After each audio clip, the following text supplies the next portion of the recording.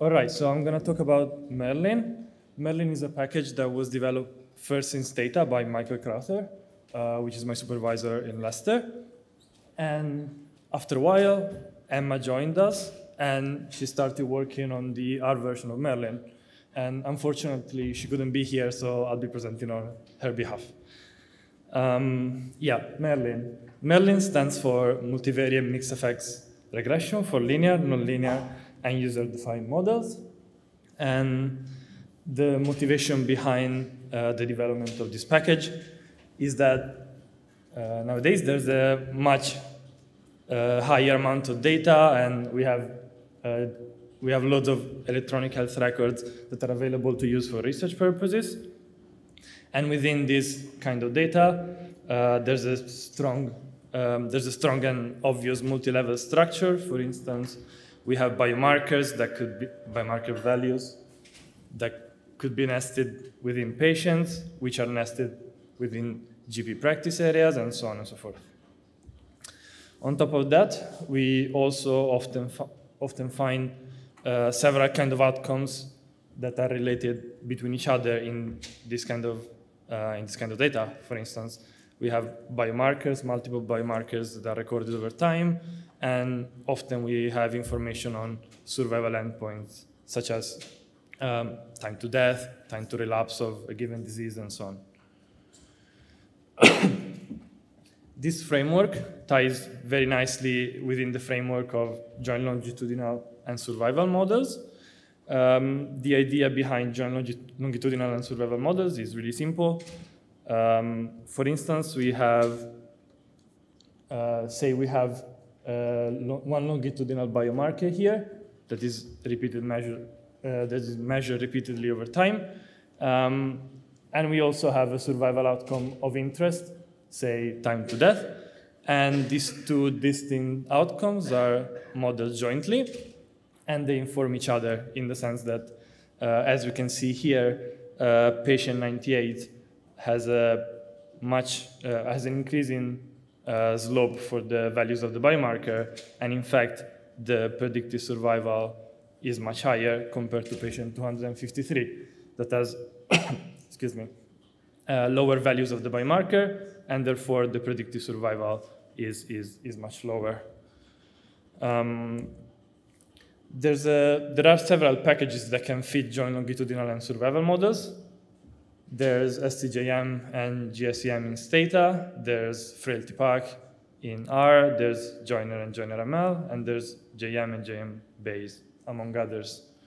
Um, what we want to do with Merlin, though, is actually try to incorporate some of the, of the several extensions uh, to this framework that, that have been suggested in the literature. For instance, in the past years, um, this framework been, has been extended to accommodate competing risks, different types of outcomes, multiple continuous outcomes, delayed entry, um, recurrent events and terminal events at the same time, and loads of clinically meaningful predictions. um, and as I said before, uh, the packages that I, that I described in the previous slides can fit some of the models, but some of the extensions are are not easily um, applicable in, in, in, practice if you want to fit these kind of models to the data that you have. So Merlin, as I, as I said before, there's a tutorial paper in Stata that illustrates the framework and also um, some, of, um, some of the models that you can fit within this framework. And on Michael's website, there's loads of tutorial if you want to go and check them out. And I will essentially go through the same example that is described in Stata in the paper that is mentioned here, uh, using R, using the R version. and to do this, uh, we'll use data on primary biliary cirrhosis uh, as an example. Um, it's a data set that is often used in the settings of joint modeling to illustrate models. Um, it consists of 312 patients with this specific disease um, 158 of them were randomized to receive uh, D-penicillamine, and 154 were randomized to placebo. The survival outcome is all-cause mortality, and there are 140 events. Uh, for purpose of illustration, we simulate competing risks of death. Um, so there will be multiple, um, uh, multiple causes of death. And we have almost 2,000 repeated measurements of serum bilirubin and uh, other longitudinal biomarkers such as um, prothrombin index and so on. Uh, for, um, a version of this dataset that is format that is uh, properly formatted to be used with Merlin is available uh, within the, the, Merlin package now. Uh, this is just an example of how the data looks like and how it has to be formatted. Um, this is the survival information that we have, and this is just for three patients. Um, we have the survival time, and then we have um, an event indicator for death, uh, and we also have the, the competing risk uh, event indicators here. Um, we have to include only a single, um, within each individual, each survival time has to appear only once, as otherwise it would be considered to be some sort of recurrent events data, as Merlin can also handle uh, multiple events, uh, multiple events data, such as um, survival models with frailties and so on. Uh, and this is the longitudinal uh, data that we have. We have the time at which each measurement was taken, and then we have the value of uh, serum bilirubin and the value of prothrombin index on the log scale. We can start uh, with Merlin, and to begin with, we can fit just a simple linear model. is really straightforward to fit this kind of model. We just call Merlin, we define the model, uh, we define time var. In this case, is not necessary, but uh, later on we'll see that we actually have to define what is the variable that represents time. We define uh, the family. We choose Gaussian as uh, we assume it's a, it's a linear model for continuous outcome. And then we define uh, which dataset we're using. We can extend this model by uh, using a flexible formulation of time. For instance, we can use uh, restricted cubic splines using three degrees of freedom. And uh, all we have to do is to use the RCS function on the right-hand side of the formula. We can also include uh, a random intercept and turn this model into a effects model. Uh, mixed are defined by uh, capital M followed by a number. And then between uh, square brackets, we need to include the variable that identifies the level at which we assume this random effect is, uh, is placed. Uh, we use the notation star 1 to constrain the um, coefficient associated to the random effect to 1.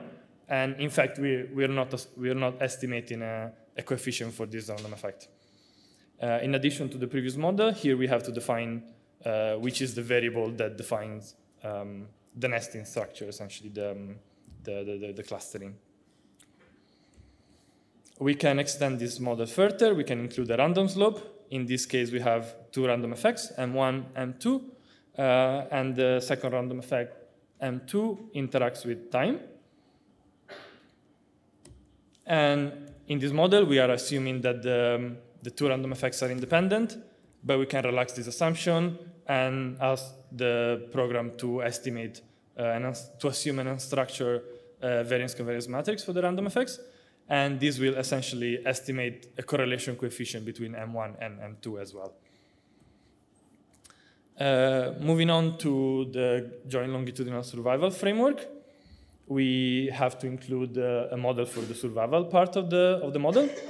Several uh, standard parametric survival models are included in Merlin. For instance, the Weibull, exponential, and Gompertz models are easily um, implement, implementable and usable. And it's also possible to use a variety of more flexible models, such as the Royston-Parmar flexible parametric models on the log cumulative hazard scales, and also a model with restricted cubic splines on the log hazard scale. In order to um, add the survival model, we essentially have to add another family. In this case, we add Weibull, as we are fitting a Weibull model. And uh, here it should be highlighted in red, but this new uh, equation is added in a list structure, and this is a survival model for uh, the survival time as time, the event indicator died, and we include treatment as a covariate um, in the survival submodel. Um, by doing this, we can, uh, within the joint longitudinal survival model, we can link the, the survival and the longitudinal model by including the expected value of the longitudinal biomarker. Uh, in this, uh, by doing this, essentially the two models are, are, are, linked, and we can we get an estimated hazard ratio or coefficient for a one unit increase in the longitudinal biomarker. Um, in order to do this, now we have to add um, S time on the time var option, as this will be, will be required to essentially match time in the longitudinal model and the survival time in the survival model. Several association structures are implemented. EV stands for expected value, which links the expected value or the current value of the longitudinal biomarker and includes it in the survival submodel. We can also use DEV, which stands for the derivative of the expected um, of the longitudinal submodel, and that represents essentially the rate of change in the biomarker, and we get an association between the rate of change in log bilirubin and survival. We can use IEV, which stands for integrated uh, and represents the cumulative effect of the biomarker. And we can also use combination of both. So we're not restricted to just a single um, association, association structure. Um, yeah, so we'll focus on this simple model and we, we'll continue from here. What we can do is introduce time-dependent effects. For instance, uh, we can introduce an interaction between uh, treatment and um, a function of time. We use the, um, the function fp, which stands for uh, fractional polynomials, and to the power of zero, which is the log of time. So by doing this, essentially, we introduce an interaction between uh, treatment and the logarithm of the survival time. Uh, we can also, as I mentioned before, uh, include competing, um, competing risks. So in this case, we are fitting uh, two survival models. We have two equations, one for the risk of dying uh, because of cancer, and one because of uh, the risk of dying for other reasons. On top of that, uh, we decided that the risk of dying from other causes is modeled using a flexible parametric model in which the the, um, the baseline hazard is modeled using um, a restricted cubic spline, and in this case we assume three degrees of freedom for simplicity, and uh, we can define this by adding the family RP to the, um, to the family option. We could also add uh, a second longitudinal biomarker. Uh, for instance, here we add the log, um, the logarithm of prothrombin index, and once again, we model this flexibly using restricted cubic splines. Um, and we include a random intercept, uh, again, at the ID level that is identified by uh, the M3 um, term.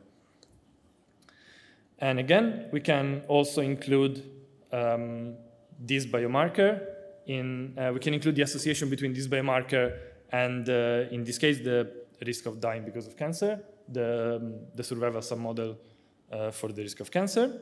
And we include the expected value and the cumulative value, the cumulative effect. So this is the final model that we, that we can fit. And this, um, as, as, as, we saw, we can essentially, within this framework, we can start from a very simple model and end up with um, a model with um, a multivariate longitudinal outcome and two competing risks uh, model using cause-specific hazards model, and all of this is modeled jointly at the same time. Um, what we can get as well, and is really important, is clinically meaningful predictions.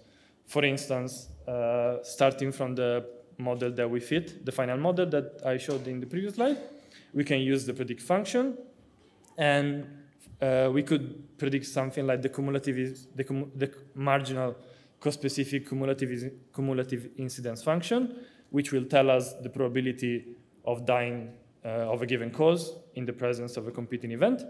And uh, we can just obtain these predictions using uh, this simple command. And if we add the marginal option, uh, we integrate out the random effects and we can interpret them as population average predictions. And then we can obtain a plot like this that shows that over time, um, the probability of dying because of cancer or the probability of dying because of other causes in the treated group um, is uh, these values here that we can see in this plot. Um, the future of Merlin, about the future of Merlin, there's lots of things that um, that the Stata version can do, and the R version will uh, be able to do hopefully very soon. Um, and we're working to implement dynamic risk predictions, uh, modeling the observation process. Um, one of the downsides of Merlin, though, is that it's really flexible, and therefore it can be slower than other packages. But the, the great power of Merlin is its flexibility and the capability of, of fitting all this complex model within a single framework. Um, another topic that we would like to explore is penalization. Uh, the Stata version can do that, the R version not yet. Um, we're working on uh, scalability and the use of sample weights and mimicking some sort of uh, uh case cohort design uh, to essentially overcome the fact that with healthcare records you have millions and millions of, of, of observations. And generally, updates and tutorials are updated all the time, and you can find them on uh, Michael's website. And Thank you very much. Thank, Thank you. you.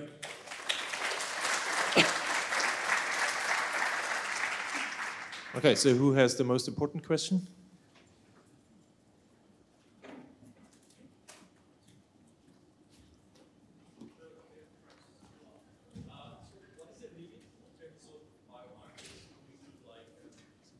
Uh, could you include, like, say, five biomarkers? And also, if you have missing values for the biomarkers, would that work?